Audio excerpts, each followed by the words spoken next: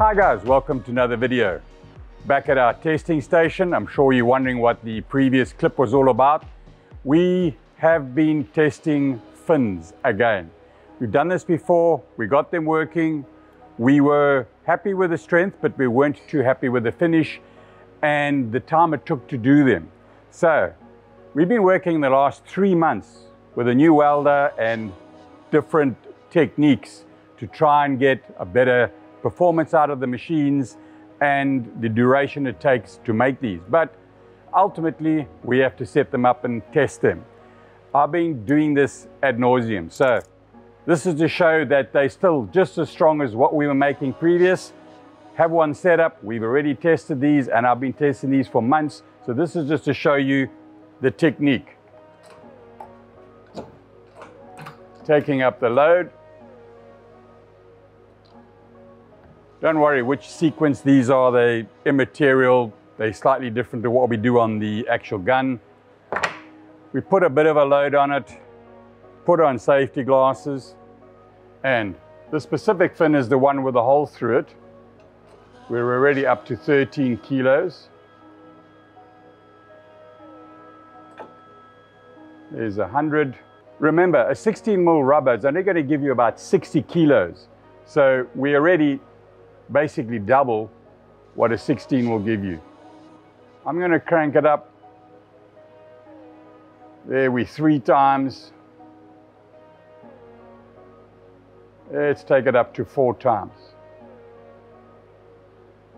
There we over four times what a single 16 at max stretch. You can see the tension in here. Super strong. Everything stays in place. 248 kilos, that's over 500 pounds. So that is rock solid with that much force. Nothing budged, nothing moved. Watch when I back it off, you'll see how much strain is in the jig itself. You see everything flexes.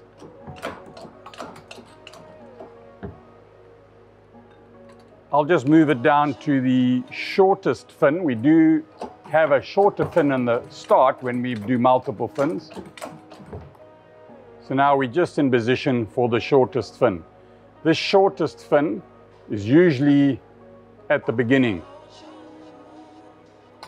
So you can see two millimeter stainless steel cable, much stronger than what a normal wishbone would be, engages perfectly. Let's ramp it up.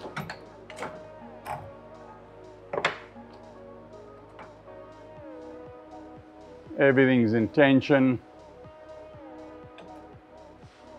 60 over 60 kilos, that's a single.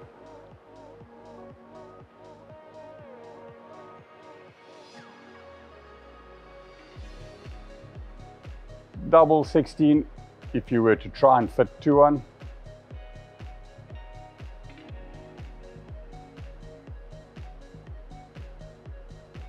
Triple 16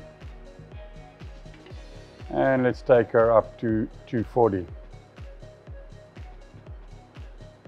There you go. Over 240, really tight and locked up perfectly, nothing moved.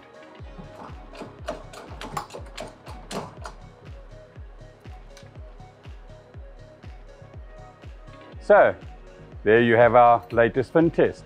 Stand by for the next video.